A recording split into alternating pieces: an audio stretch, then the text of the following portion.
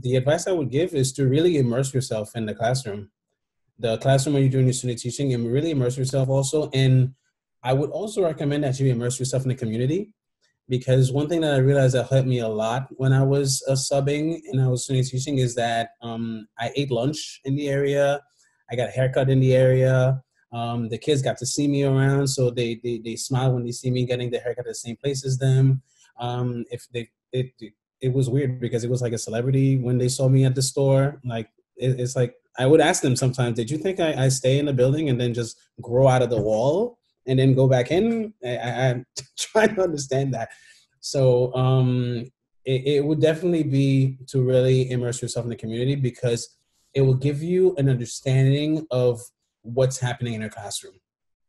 It's one thing to get the textbook experience and to see, you know, the education aspect from Brooklyn College, but make sure that you actually see yourself in the community to be able to see what the kids are like. And sometimes, if I had some time, I would stay after school longer. I check out check it out on the weekends, and I think it will definitely give you um, that extra, well, that that essentially that other aspect of what classroom education looks like.